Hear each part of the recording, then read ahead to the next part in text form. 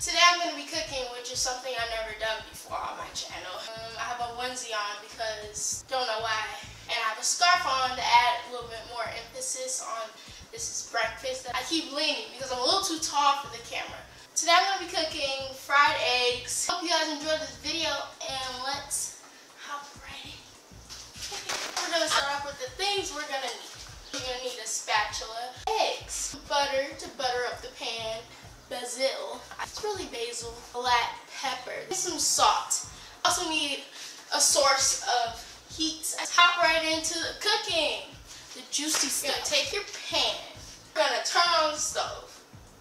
Uh, wait. I don't even know which one to turn on. then you're gonna take the spatula, stick it in the butter, like so.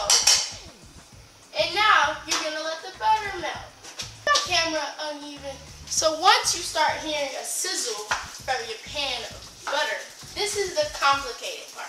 Then you're gonna take your egg. Then you're gonna let it into the pan. And since this is free-flowing sauce, I'm to pour it in the pan.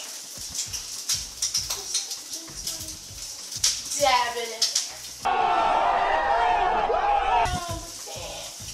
I'm to add the cheese.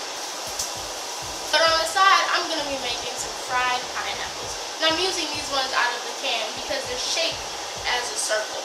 And that's easier to fry. The food is finito. We have the fried pineapples, some fried eggs, nicely done, nice and gooey. So, bone apple teeth. So, of course, my camera decided to cut off in the middle of my outro. Now I'm here telling you guys that I hope you guys enjoyed this video, and if you did, give it a thumbs up. Comment down below video request and food request because I will definitely be filming more of these. Also, subscribe if you want to see more videos from me, or click the bell if you want to get notified every time I post. And yeah, bye!